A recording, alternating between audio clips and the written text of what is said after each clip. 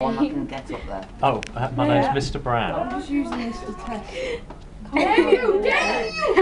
Is this activity based in here? Yeah, the entire week we're in here, apart from on Friday where we're going bowling and going to play Laser Quest. Hey, there's a hole in this Are there any trips? Yes, on Friday we're going to go play some Laser Quest and we're going to go bowling over um, in town. Do you think that'll be any fun? I hope so. I hope it comes. They're, they're having a lot of fun already, just making the levels and playing the levels. Um, so yeah, I'm, I'm pretty sure that, you know the, the entire week will have been fun. Holes. And what what is the thing that you are doing based on? It's called 3D level design, and um, we're using a game called Counter Strike, which is a PC game, um, and you basically have two teams, and you have to kill each other.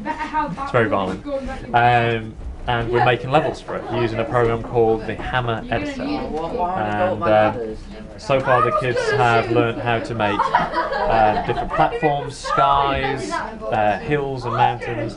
They've just learned how to make ladders uh, and lakes and things like that. So, So we're going to have a competition today and tomorrow. They're going to make their own levels, and then we're going to play the levels tomorrow afternoon.